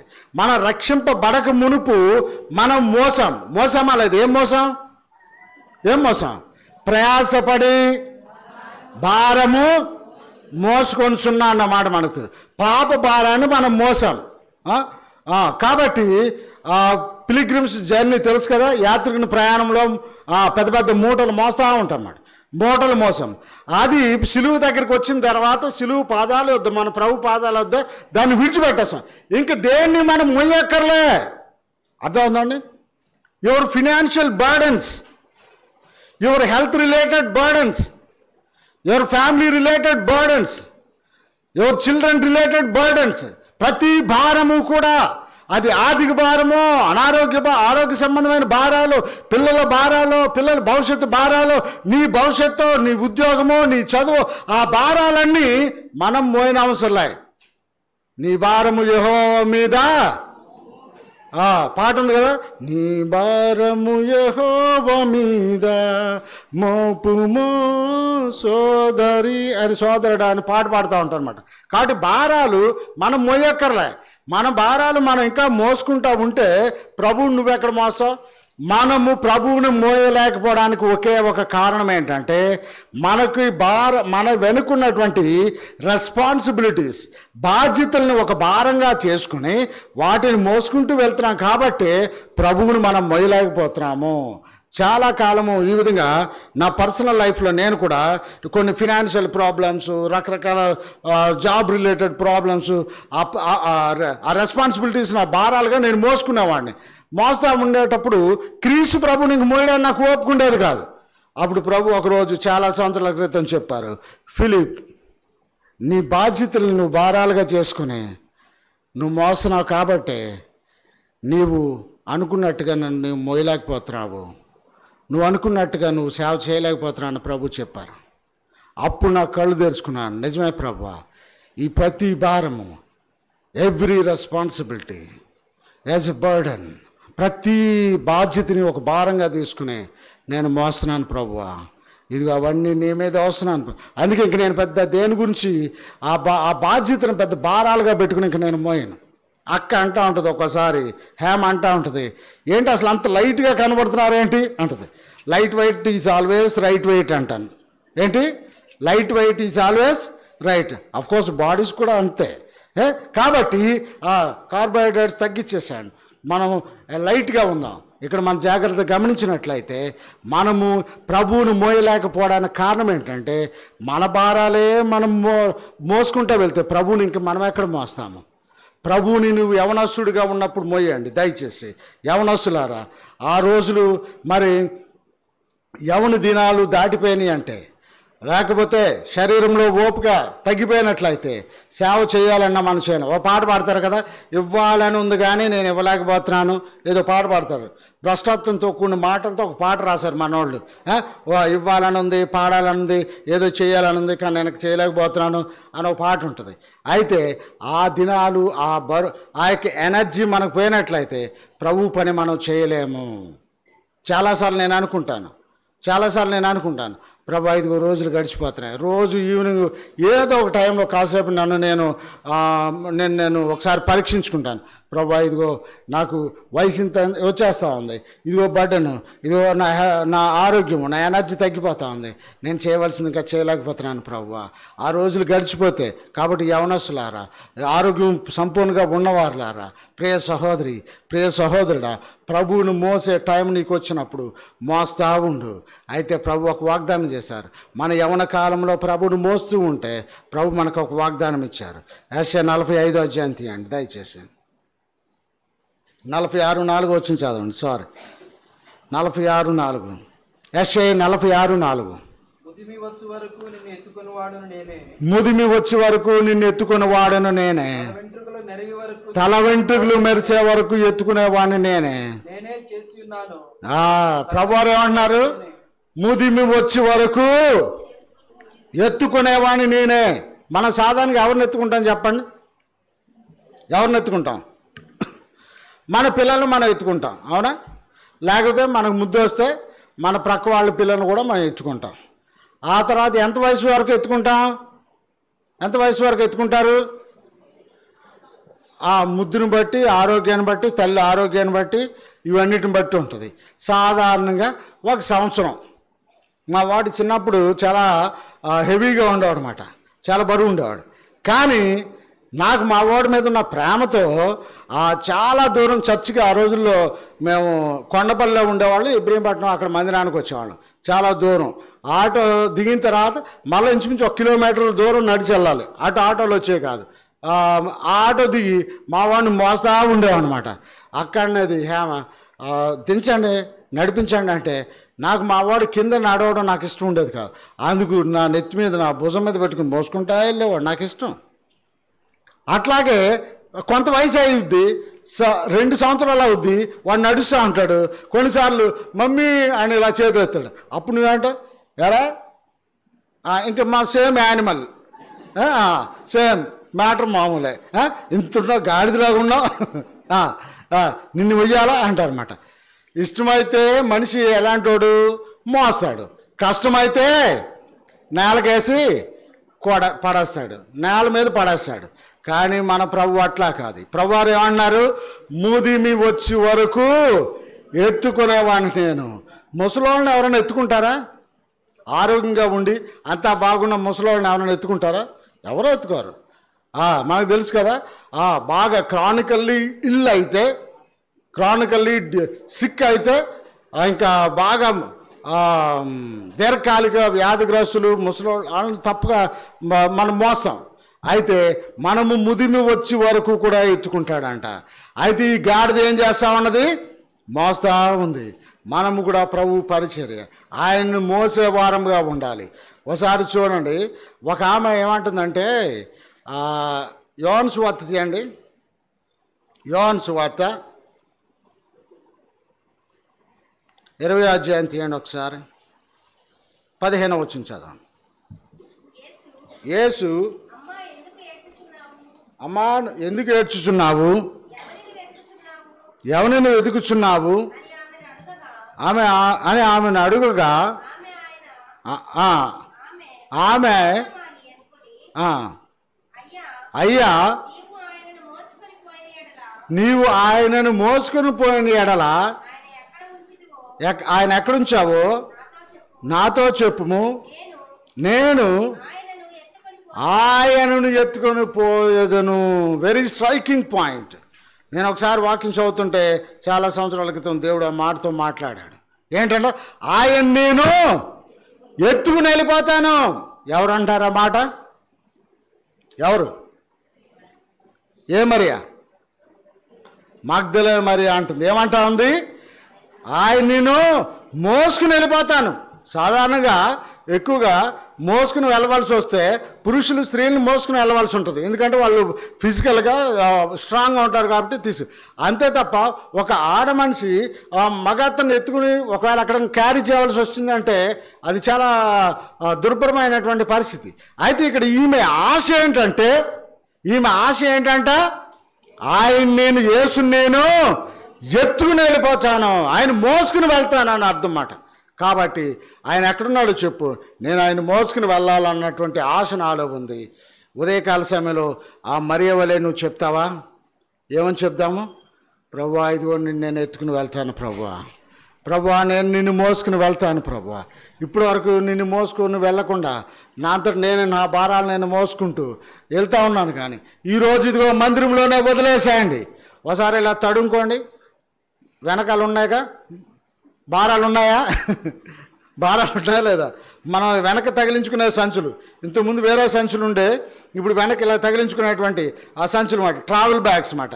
ట్రావెల్ బ్యాగ్స్ ఆ బ్యాగ్స్ ఏమేమి ఉన్నాయో దయచేసి అన్నీ వదిలేసి ఇక్కడ వదిలేసేయండి. అన్న వచ్చిన తర్వాత బెంగళూరు నుంచి బిఎంసి వాళ్ళకి చెప్తాడు. బిఎంసి వాళ్ళు వచ్చి అవన్నీ తీసుకుని వెళ్ళి కృష్ణా నదిలో పడేస్తారు. మనం ఫ్రీగా ఇక్కడ నుంచి వెళ్దాం. ఓకేనా? ఓకేనా? Are you agree with me okay కాబట్టి ఇక్కడ మనం చూసినట్లయితే ప్రభువుని మనం మోసుకుని వెళ్దాం. ఆ భారాన్ని విడిచిపెట్టేద్దాం. ప్రభువుని మనం క్యారీ చేద్దాం. కాబట్టి ఆమె అంటా ఉంది ఆ ప్రభు ఎక్కడున్నారో చెప్పు. నేను ఆయన నేను మోసుకుని వెళ్తాను. కాబట్టి ప్రభువుని మోసుకుని మోసుకుని వెళ్దాము. ప్రభు గురించి సాక్ష్యం చెప్తాము. పత్రికలు పంచుదాము సువార్త చేద్దాము. సువార్త కూడికలకు మనం అటెండ్ అవుతాము. సావులో మనము యాక్టివ్గా ఉందాము నువ్వు ఎందుకు నీరసంగా ఉన్నావు? నువ్వు ఎందుకు నిరాశలో ఉన్నావు? ఎందుకు నిస్పృహలో ఉన్నావు? దేని గురించి నువ్వు ఆలోచన చేస్తున్నావు? దేని గురించి నువ్వు చింతిస్తూ ఉన్నావు ప్రియ సహోదరి సహోదరుడా?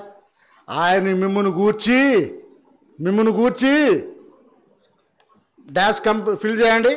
ఆయన మిమ్మును గూర్చి చింతించుచున్నాడు పేతు రాసిన పత్రిక. కాబట్టి ఆయన మిమ్మల్ని గూర్చి చింతించుచున్నాడు. ఎందుకు నువ్వు డిస్కరేజ్ అవుతున్నావు? Wait and to the Lord waiting and to the Lord is not wasting of time just wait and to the Lord get God's will God's will know God's will do God's will దేవుని చిత్తం కోసం ఎదురు చూడు దయచేసి. They ప్రభుని మనం మోసుకుని వెళ్దాము.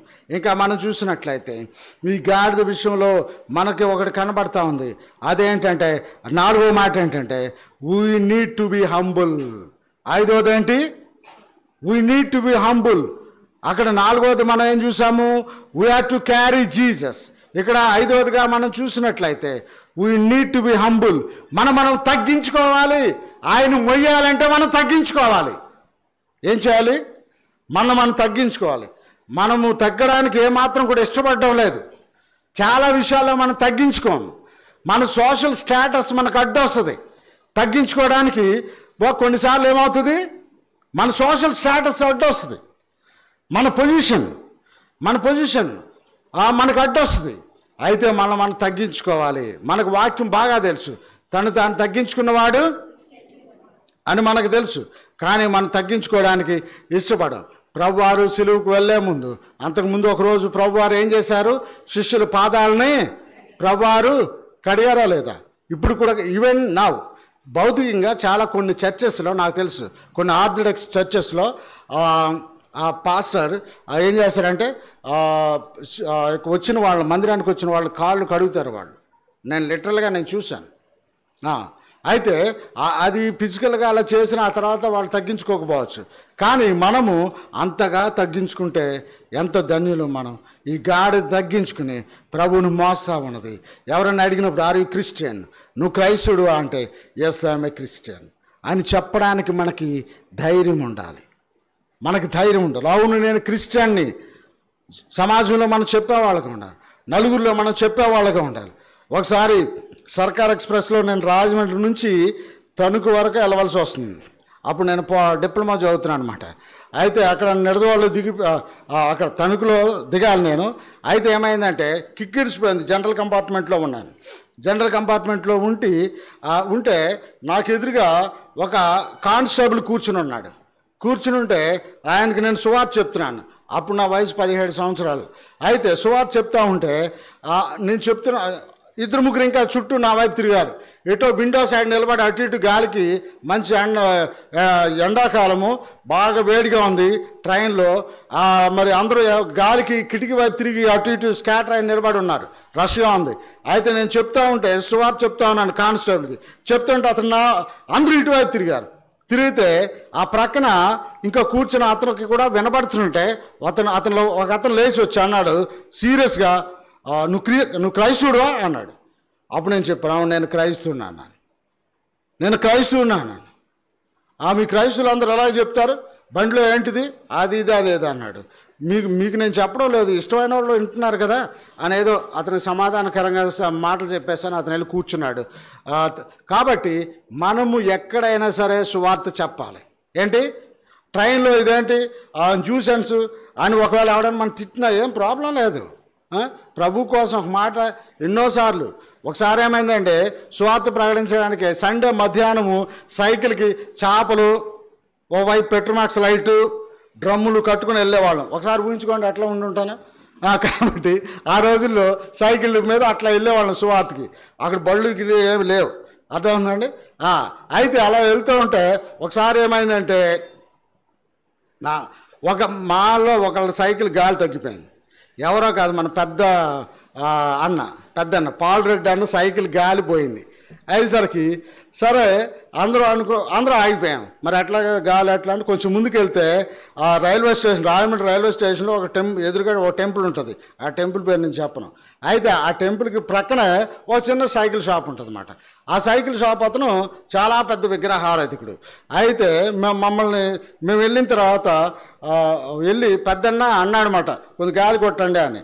అనేసరికి ఆ మనిషి ఉన్నది నాలుగు అడుగులే కానీ పద్నాలుగు అడుగులు ఎత్తులేసాడు అనమాట లేచి ఏ ఎలవాయ్ ఏంటి మీకు సైకిల్ గాలి కొట్టేవాళ్ళ కనబడుతున్నాడా? మీరు క్రైస్తులు ఈ డ్రమ్ ఏంటి ఈ బైబిల్ ఏంటి? అని ఆ వెనుకున్న నా నా సైకిల్ తోసి పడేశాడు కిందకి. ఇట్లా తోసేసరికి సైకిల్ పడిపోయింది. ఏది ఆ దాన్ని కట్టుకున్న ఆయన పక్క పడిపోయినాయి. పడిపోయేసరికి మేమేం మాట్లాడలే. వీలైతే కొంచెం పంపివ్వండి గాలి కొట్టుకుంటా అంట. ఆయన అతను ఇష్టం వచ్చినట్టు దూషించాడు. మేమందరం అలాగే ఉన్నాం. ఆ నిజానికి చాలా యంగ్ స్టేజ్లో ఉన్నాం. ఎయిటీన్ నైన్టీన్ ఇయర్స్ ఏజ్ మాట. ఒక్కటే ఒకటి కొడితే ఒకే ఒక దెబ్బకి చచ్చిపోతాడు పడిపోయి. అంత వీక్గా ఉన్నాడు ఆ క్యాండిడేట్. కానీ మనం మాట్లాడడానికి లేదుగా. మనం అంతా ఇంకా సైలెంట్ అయిపోయాం. అయ్యేసరికి అతను ఏమనుకున్నాడు సరే అందరూ మౌనంగా వెళ్ళిపోతుంటే సరే ఆ పంపు అట్లా ఇసిరేసి గాలి కొట్టుకుని పోండి అన్నాడు. మాకు చాలు ఇంక అంతకంటే ఇంకేముందిరా నువ్వు ఇంకో వంద తిట్లు తిట్టినా పర్వాలేదు. మా పంపించాను గాలి కొట్టుకుని వెళ్ళిపోయామన్నమాట కొన్నిసార్లు ప్రభు కోసం రెండు మాటలు పడినంత మాత్రాన మనకేమి మన కిరీటం కింద పడదు. మన కిరీటం పరలోకంలో ఉందిగా కింద పడడానికి భూమి మీద ఉంటే కింద పడుతుంది. పరలోకంలో మనం పెట్టుకునేది. కాబట్టి మన కిరీటం కింద పడదు. మనం మనం తగ్గించుకుందాం. ప్రభు పరిచర్య కోసం మనం ముందుకు వెళ్దాం. ఆ తర్వాత ఇది ఇంకా ఒక విషయం చెప్పాలంటే ఇది ఘనత పొందిన గాడిదా. ఏంటది? ఘనత. ఘనత ఎట్లా వచ్చింది? ఇప్పుడు ఎక్కడ నడుస్తుంది చెప్పండి? ఎక్కడ నడుస్తుంది? దేని మీద నడుస్తుంది? అంటే మన భాషలో చెప్పాలంటే రెడ్ కార్పెట్ ట్రీట్మెంట్ అంటారు. అవునా? Red carpet. ఎవరైనా విఐపీస్ కానీ బీవీఐఐపీస్ కానీ పెద్ద పెద్ద వాళ్ళు వచ్చినప్పుడు మరి ఏం చేస్తారు? ఎవరైనా ఒక అమెరికన్ అమెరికా ప్రెసిడెంట్ వచ్చాడు అనుకోండి జో- జో బైడెన్ వస్తున్నాడు అనుకోండి ఎయిర్పోర్ట్లో ఏమేస్తారు రెడ్ కార్పెట్ వేస్తారన్నమాట రెడ్ కార్పెట్ ఆయన నడవడానికి రెడ్ కార్పెట్. ఘన స్వాగతం. ఘన స్వాగతాన్ని సాధన అట్లాగే ఈ గాడిద ఇప్పుడు ఎక్కడ నడుస్తుంది? బట్టల మీద నడుస్తూ ఉంది.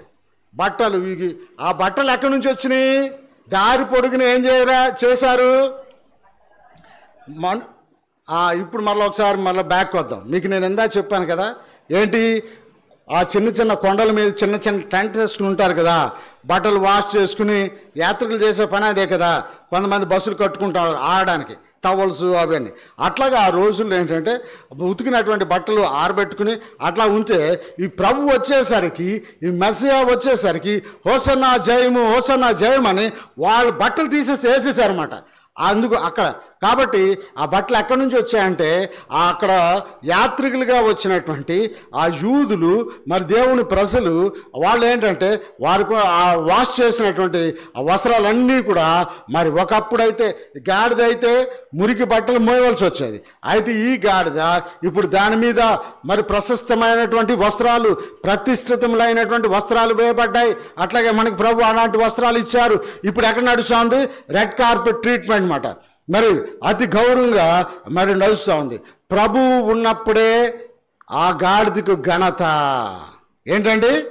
ప్రభు ఉన్నప్పుడే ఆ గాడిద ఘనత. ఒకవేళ ప్రభువు లేకుండా ఆ గాడిద ఏదైనా బట్టల మీద వెళ్తుంది అనుకోండి మనుషులు ఏం చేస్తారు? ఊరుకుంటారా? మామూలుగా ఉండదు దానికి ట్రీట్మెంట్ వేరుగా ఉంటుంది. అవునా చెప్పండి. దా ప్రభువు లేకుండా బట్టల మీద బట్టలు తొక్కుంటూ వెళ్తుంది అనుకోండి దానికి ఎలా ఉంటుంది? మామూలుగా ఉంటుందా?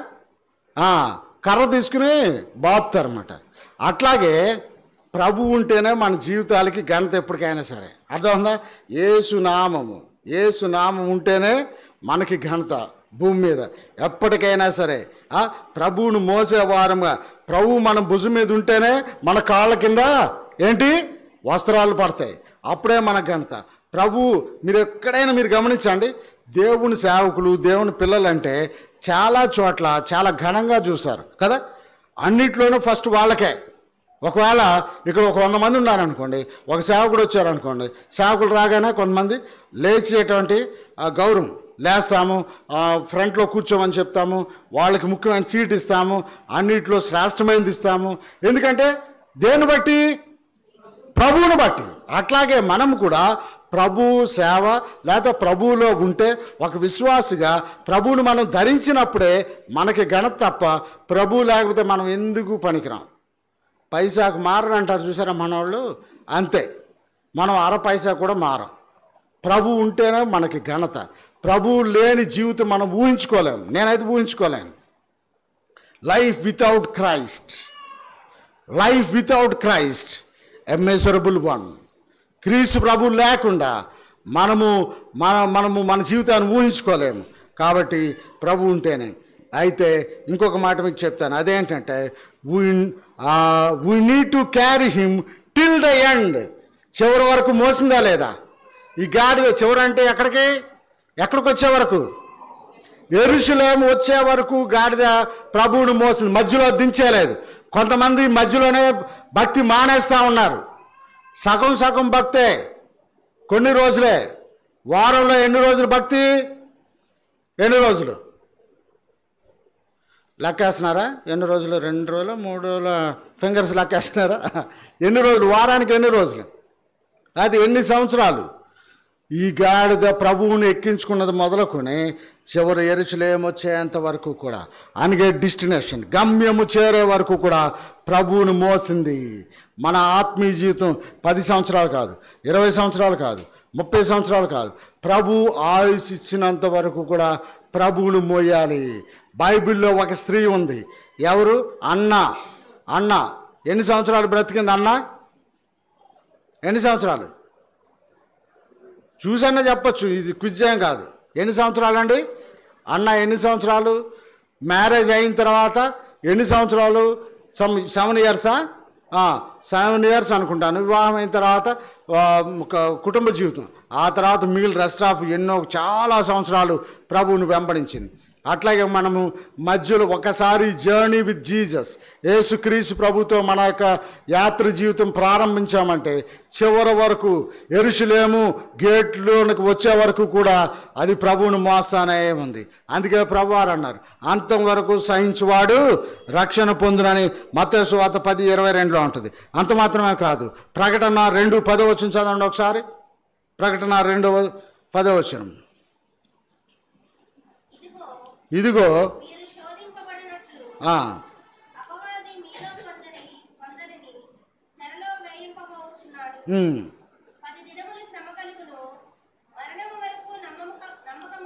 మరణము వరకు అండర్లయింగ్ అండర్లయింగ్ వర్డ్ వర్స్ ఏంటంట? మరణము వరకు నమ్మకముగా ఉండుము. నేను నీకు జీవ కిరీటము. ఇచ్చేది అని ప్రభువారు చెప్తున్నాం మరణం వరకు నమ్మకంగా ఉండాలి. ఆ పది రోజులు భక్తి చేశానులే బాప్తిజం తీసుకున్న మూడు సంవత్సరాలు భక్తి చేశాను ఇంక చాలులే ఇంక నేను నడవలేకపోతున్నాను అంటే వేస్ట్ వృధా అయిపోద్ది. కాబట్టి ప్రభు వారు చెప్తా ఉన్నారు మరణం వరకు ప్రభుని మనం మోయాలి. మనం ముదిమి వచ్చే వరకు ఆయన మనల్ని మోస్తారు. విన్ విన్ స్టైల్ అన్నమాట విన్ విన్ అనేటువంటి ఒక సూత్రం. అదేంటది? Seven habits of highly effective people అని ఉంటుంది. ఏడు హైలీ ఎఫెక్టివ్ పీపుల్ ఒక వ్యక్తి చాలా ఎఫెక్టివ్గా ఉండాలంటే ఒక ఏడు హ్యాబిట్స్ ఉంటాయి. అందులో ఒక సూత్రం ఏంటంటే విన్ విన్ అంటే నువ్వు గెలవాలి నేను గెలవాలి. అట్లాగే నువ్వు ప్రభుని మోయాలి ప్రభు కూడా మనల్ని ఎప్పటి వరకు ముది మోచే వరకు మోసారు కాబట్టి ప్రభువారు మనల్ని మోస్తారు. మనల్ని మోసేవారు మోస్తారు. మనం ప్రభుడు మోయాలి. అంతం వరకు ఉండాలి. అయితే ఇంకొక విషయం చెప్పాలంటే donkey is a symbol of four things నాలుగు విషయాలు. గాడిద నాలుగు విషయాలకి సాదృశ్యము ఒకటి it is symbol of service ఏంటది? మొదలు దేనికి సాదృశ్యం అది? సర్వీస్ సేవకు పరిచర్యకు సాదృశ్యం. నెక్స్ట్ సింబల్ ఆఫ్ సఫరింగ్ బా బాధ అనుభవించడము అన్నదానికి అది ఒక సింబల్ మూడోది it is a symbol of peace సమాధానానికి సాదృశ్యము. ఒకసారి మనకు తెలుసు బైబిల్లో మరి మొరటివాడు అని ఎవరి గురించి వ్రాయబడింది? మోటివాడు మొరటివాడు అని బైబిల్ ఎవరి గురించి వ్రాయబడింది? పాత నిబంధనలో నాబాను. నాబాలు. ఓకే నాబాలు. ఈ నాబాలు ఎలాంటి వాడంట? మొరటివాడు. అయితే దావీదికి కోపం రప్పించాడు. అయితే అలాంటి పరిస్థితుల్లో దావీదు కోపం రప్పించాడని అతడు ఎంత మొరటవాడో అంత పొలైట్ లేడు. ఎవరు? తన భార్య అయిన ఎవరు? అబిగేయల్. అబిగేయల్కి ఆ మ్యాటర్ తెలిసిపోయింది. ఏంటి? ఇతను చాలా కోపం రప్పించాడు దావీదికి. దావీది కోపం వచ్చిందంటే చాలా ప్రమాదము. దావీది కోపం వస్తే శత్రువు తలకాయ ఎక్కడ ఉంటుంది? దావి చేతిలో ఉంటుంది. అందుకోసం అది భయం అని ఏం చేసింది? అబిగేయలు గాడిద కట్టించుకుని ఆ గాడిద మీద వెళ్తా ఉంది. గాడిద దేనికి సాదృశ్యం అంటే సమాధానానికి సాదృశ్యము. Donkey is a symbol of peace నాలుగవదిగా ఇంక మనం చూసినట్లయితే donkey is a symbol of humility అని ఐదు నాలుగవది ఏంటి? డాంకీ దేనికి సాదృశ్యము? హ్యూమిలిటీ అంటే దీనత్వం. ఎస్ దీనత్వానికి సాదృశ్యం గాడిద. కాబట్టి ఇది. అయితే ఇప్పుడు డాంకీ గురించి ఇంత ధ్యానం చేసిన తర్వాత డాంకీ మీద ఉన్నటువంటి ప్రభుని గురించి మనం మాట్లాడుకోకపోతే ఇట్స్ మీనింగ్లెస్ అర్థం లేదు. డాంకీ గురించి ఎంతసేపు చెప్పాడు? పైన ఎండగా ఉంది చెమటగా ఉంది. ఇంకా జీసస్ గురించి ఇంకో గంట చెప్పేటట్టున్నాడు పైకి అన్నలేడు ఇక్కడ ఇంకొక ఒక మంచి విషయం ఏంటంటే కొన్ని సంఘాల్లో బోధకుడికి తిన్నగా ఏం పడతారు తెలుసా? గోడకి? గడియారం పడతారు. ఆ ఏంటి?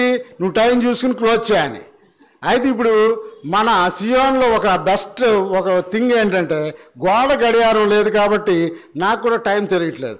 అలా అంటే అక్కడెక్కడో ఉందంటారేమో అది ఎక్కడో ఉంది నాకు సంబంధం లేదు.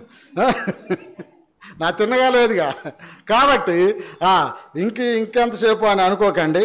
అయితే ఈ రాజు ఏ రాజు అంట? ఏ రాజు? ఇప్పుడు మళ్ళీ బ్యాక్ ఒకసారి లోకాసు వార్తకు వచ్చేసాయండి. ముప్పై ఎనిమిదో వచ్చిన ఎవరైనా చదవండి. ముప్పై ఏడు నుంచి చదవండి. ముప్పై ఏడు నుంచి. ఏది? పంతొమ్మిది ముప్పై ఏడు. త్వర త్వరగా చదివేసేయండి ఆ, జీవన కొండ నుండి ఆ, చోటికి ఆ, ఆయన సమీపించుతున్నప్పుడు ఉమ్. శిష్యుల సమూహం అంతయు సంతోషించుచు సంతోషించుచు ప్రభు పేరిట వచ్చు రాజు ఉమ్, స్తుతింపబడును గాక పరలోకమందు సమాధానమును సర్వోన్నతమైన స్థలములలో మహిమయు ఉండును గాక అని దేవుని స్తోత్రం చేస్తూ ఉన్నారు. ఈ రాజు ఎవరంటే ప్రిన్స్ ఆఫ్ పీస్. సమ ఇందాక మనం చెప్పుకున్న జకరే తొమ్మిది తొమ్మిదో వచ్చిన మనం చూసినట్లయితే ఆయన ఎవరు? He's the king of peace or he's the prince of peace ఆయన సమాధానాధిపతి. మనకి సమాధానము ఇవ్వడానికి వచ్చారు. మనం విప్పడానికే కాదు ఆయన మనకి సమాధానము. Peace with God peace with people peace with our neighbours peace in around our in our boundaries సరిహద్దుల్లో సమాధానం కలుగు చేయవాడు నూట నలభై ఏడో కీర్తన. సమాధానం ఉందా పక్కింటి వాళ్ళతో సమాధానం ఉందా మన ఫ్రెండ్స్తో సమాధానం ఉందా సమాధానం మొదటిది పీస్. రెండోది ఏంటంటే మరి ఆయన ఎందుకు వచ్చారంటే హీ గివ్స్ యూ రైచియస్నెస్ ఆయన మరి నీతిని ఇవ్వడానికి ఆయన ఈ లోకానికి వచ్చినట్లుగా మనం చూస్తూ ఉన్నాము. అది కూడా ఆ జకరే తొమ్మిది తొమ్మిదిలో ఉంటుంది. ఆయన మనకి నీతిని అలంకరింపజేయవాడుగా ఆయన ఈ లోకానికి వచ్చిన్నాడు అంత మాత్రమే కాకుండా మూడవదిగా హీఈస్ ద సేవియర్ ఆయన విడిపించేవాడిగా వచ్చాడు. రక్షణ గలవాడని ఉందా లేదా అక్కడ? ఉందండి? జకరే తొమ్మిది తొమ్మిదిలో. చదవండి దయచేసి అన్నమాట అది అట్లాగే ఉండండి జకరే తొమ్మిది తొమ్మిది అట్లాగే ఉంచండి.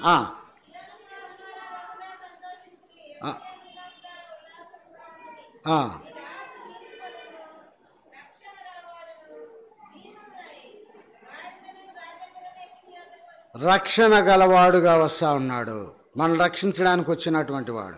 ఇస్రాయేల్ ప్రజలు వాళ్ళందరిని రక్షించడానికి ఆయన వచ్చారు వాళ్ళు ఏమనుకుంటున్నారంటే ఆ రోజుల్లో వాళ్ళ ఆ ఆ పాట పాడడానికి వాళ్ళకి ఏంటంటే వాళ్ళు ఏమనుకుంటున్నారంటే అంతవరకు రోమన్ గవర్నమెంట్ కింద వాళ్ళు ఉన్నారు. బ్రిటిషర్స్ మనల్ని ఎలాగ ఏలారో more than two two thou two hundred years ఆ రోజులో చాలా కాలంగా రోమీల పరిపాలనలో వీళ్ళు ఉన్నారు.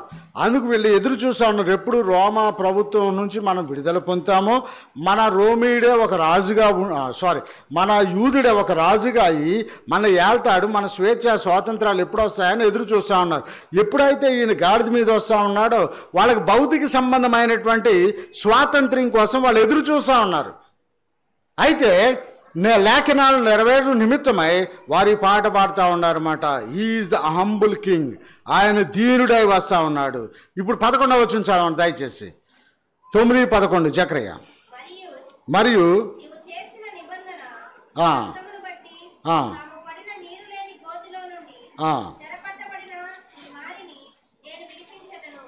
ఇక్కడ మనం చూసినట్లయితే మీరు ఈ తొమ్మిదో తొమ్మిదో అధ్యాయంలో ఇక్కడ ఒక మాట నేను చదువుతున్నాను చూడండి. పద పదో వచ్చంలో చూసినట్లయితే పది కూడా చదవండి. ఎఫ్లా ఎఫ్రాయిములో రథములు ఉండకుండా నేను చేసేదును. ఎరుసలేములో గుర్రము లేకుండా చేసేదును. యుద్ధపు పోవును. అది. అంటే ఇది అర్థం ఏంటి ఈ మాటల యొక్క అర్థం ఏంటంటే అక్కడ యుద్ధం లేకుండా చేస్తాను. ఇప్పుడైతే స్టిల్ మనం ఇంకా యుద్ధాలు చూస్తూ ఉన్నాం. రష్యా ఉక్రెయిన్ మీద దాడి చేస్తూ ఉంది. ఎంత భయంకరంగా ఉంది. అయితే ప్రభువారు ఏమంటా ఉన్నారు? ఏం లేకుండా చేస్తానంటున్నాడు ఆయన. యుద్ధం లేకుండా విల్లు లే విల్లు ఇక్కడ మీరు చూడండి ఈ మూడు థింగ్స్ ఉన్నాయి ఇక్కడ. ఆ మూడు కూడా ఏంటంటే దే రిజంబుల్స్ వార్. మూడు కూడా ఏంటి? గుర్రాలు విల్లు రథాలు. ఈ మూడు దేనికి సాదృశ్యము? యుద్ధానికి సాదృశ్యం. అవి లేకుండా చేస్తాను. అంటే సమాధానాన్ని మీకు నేను ఇస్తాను అని అంటా ఉన్నాడు. ఆ తర్వాత ఇక్కడ పదకొండవ వచ్చిన ఏంటంటే అది రిజంబ్లెన్స్ ఆ దేనికి సా దేనికి రిజంబ్లెన్స్ దేనికి సాదృశ్యంగా ఉంది? డెలివరెన్స్ అనగా విడిపిస్తాను నేను అంటా ఉన్నాడు. అయితే చివరికి ఒక మాట చదువుకుని బల ఎదుకొద్దాం పన్నెండవ వచ్చిన చదవండి ఎవరన్నా బంధకంలో పడి ఉండి నిరీక్షణ గల గలవారులారా మీ కోటను మరలా ప్రవేశించండి. చాలండి. కోట కోటలో కోటల్లో ఎవరుంటారు?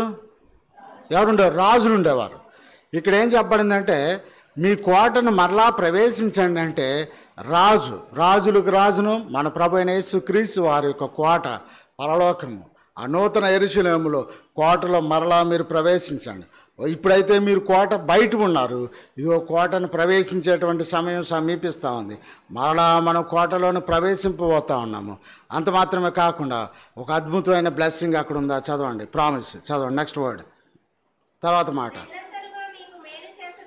ఈ మాట అందరం కలిసి చూద్దామా రెండంతలుగా మీకు మేలు చేసేదనని నేడు నేను మీకు తెలియజేయుచున్నాను. మీకు ఇష్టమైతే మాట అండర్లైన్ చేసుకోండి. మరలా చూద్దాం చూడండి అన్నమాట రెండంతులుగా మీకు మేలు చేసేదినని నేడు నేను మీకు తెలియజేస్తున్నాను.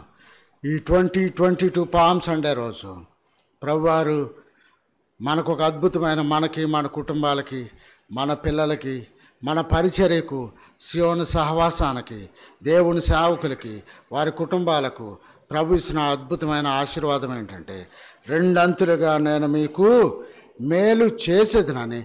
నేడు అంటే అర్థం ఏంటి నేడు అంటే ఈరోజు ఈరోజు అంటే డేట్ ఎంత? డేట్ ఎంత ఈరోజు పది నాలుగు ఇరవై ఇరవై రెండు. అనగా ఈరోజు మరలా ప్రభు మళ్ళీ రీ అఫర్మట మరలా తిరిగి నొక్కి ఒక్కానించి ప్రభు చెప్తా ఉన్నారు. రెండంతల మేలు మీకు నేను చేస్తాను. నమ్మిన వాళ్ళు చెప్పండి. ఆమెన్. ఆమెన్. ఆమెన్. ప్రభు చెప్తా ఉన్నారు. రెండంతల మేలు నీకు నేను చేస్తాను అని ప్రభు వారు చెప్తా ఉన్నారు. ఇది ఒక గాడిద పిల్ల మీద వస్తున్నటువంటి ఆ యొక్క దీన పరుడైనటువంటి ఆ ప్రభు వారు రెండంతల మేలు నీకు చేయబోతా ఉన్నాడు. Double folding blessing. Double folding blessing. ప్రార్థన చేసుకుందాం. దయచేసి ఈ మాటలు మన హృదయంలో ప్రభు స్థిరపరిచి దీవించును గాక. ఆమె దయచేసి మోకరించండి. ప్రార్థన చేసుకుందాం. వాళ్ళ ఎదుకొస్తున్నటువంటి మనము. ప్రభు నీకు చెప్తా ఉన్నారు. ఒకవేళ దేంతో అయినా నువ్వు బంధింపబడి ఉంటే నీకేమైనా నువ్వు విడిపింపబడలేనటువంటి కట్టుల్లో ఒకవేళ నువ్వు ఉండిపోయావేమో. ఎవరి మట్టుకు వాళ్ళు కండు మూసుకోండి. ప్రశాంతంగా ఒక జస్ట్ చాలా వెరీ ఫ్యూ సెకండ్స్లోనే మనకు నుంచి వెళ్ళిపోదాం. పెద్ద టైం కూడా ఎక్కువ అవ్వలేదు. త్వరగా ఒకసారి మరలా తిరిగి let's recommit our house in the light of the word of God దేవుని వాక్యంలో మరలా రీకమిట్ చేసుకుందాం. తిరిగి మరలా సమీప మనం మనం సమర్పించుకుందాం. ప్రభు చెప్తా ఉన్నారు. ప్రభు చెప్తా ఉన్నారు. రెండంతల మేలు. రెండంతల మేలు కావాలా? అయితే మళ్ళా తిరిగి రీడెడికేట్ చేసుకో. ప్రే సహోదరుడా ప్రే కుమారుడా యవనస్సుడా చెల్లె తమ్ముడా అన్న అక్క. దయచేసి మనం ప్రార్థన చేసుకుందాం. దయచేసి ఎవరి మటుకు వారు స్వపరీక్ష చేసుకుందాం.